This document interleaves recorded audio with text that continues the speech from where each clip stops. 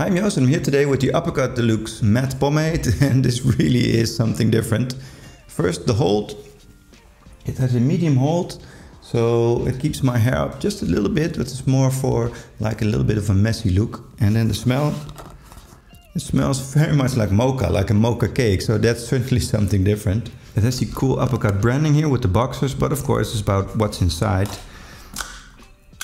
And this is quite a creamy substance. The substance also reminds me of mocha and smells like mocha of course. So what I like to do is to rub a little across my hands so it's evenly divided and I don't get any lumps. Then go through my hair. I like my hair a little bit spiky. So this hold isn't the best for my look. It's more for like a messy look with a medium hold or a low hold. But it has no shine at all. So it's very good for those out of bed looks. It's a little bit more suited to the longer hair of my son. So I tested it on him as well. I like to push his hair a little to the side to make it just a little bit messy and it doesn't get hard so you can go through it during the day. It's very easily moldable and even if you get a few little lumps that will dry up in your hair making it to have a very matte finish. So I think this one is perfect for those who want something different, a different smell, a very manly mocha smell with a matte finish and a light hold.